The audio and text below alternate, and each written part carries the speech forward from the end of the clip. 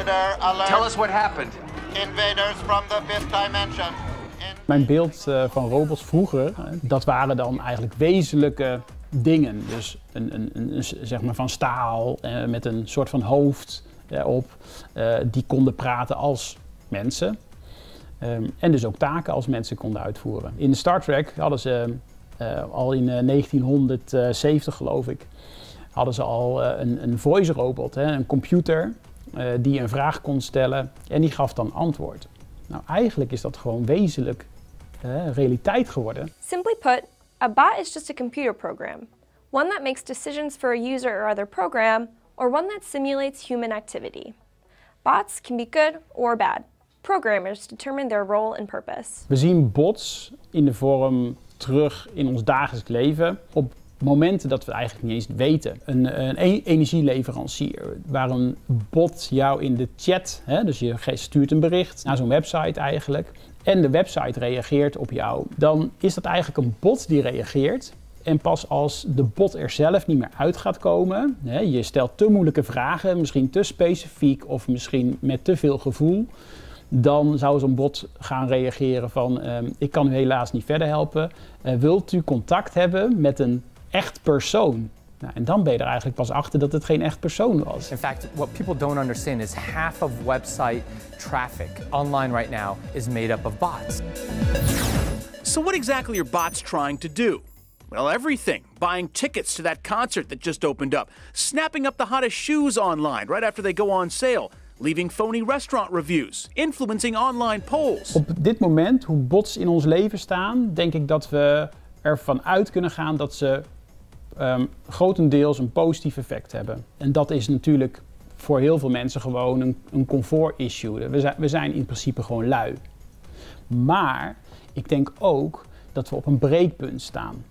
dus het punt dat een bot zoveel taken gaat overnemen en wij dus daar taken aan toekennen, of we dat nou willen of niet soms zelfs, dat een bot dus te veel verantwoordelijkheden krijgt. As a 2013 New York Times piece puts it, bots in the future could even sway elections, influence the stock market, attack governments, and flirt with people and one another. It's easy to see why social bots are, in particular, becoming a major cause for concern for online security firms and technology researchers. Als een bot kan zeggen uh, voor jou, de verantwoordelijkheid van jou krijgt om bijvoorbeeld je bankrekening te beheren, dan heeft hij wel degelijk invloed op jouw uitgaven. En als die bot dan zegt van ja, jij moet deze verzekering afnemen, want jij laat je mobiel zo vaak stuk vallen.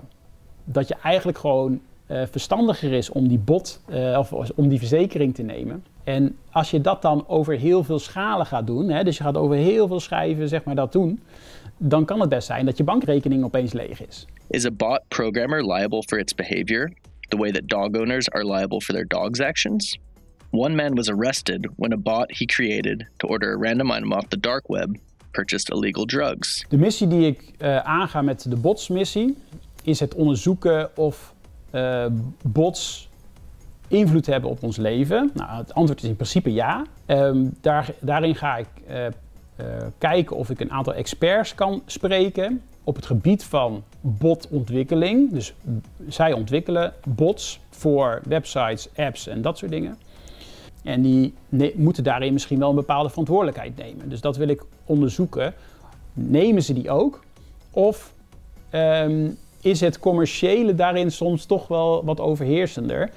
Vanuit de persoon, dus vanuit de Nederlander, daarin wil ik onderzoeken vanuit de botsmissie, om te kijken hoeveel weten ze nou eigenlijk ervan af? En hoe veel invloed denken zij dat een bot heeft op hun leven?